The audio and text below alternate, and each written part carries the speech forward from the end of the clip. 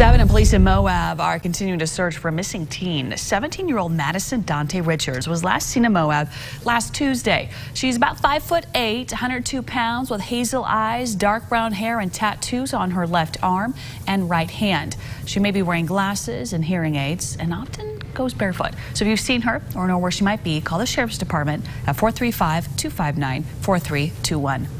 Students at a for-profit university in Draper are worried the school is going bankrupt.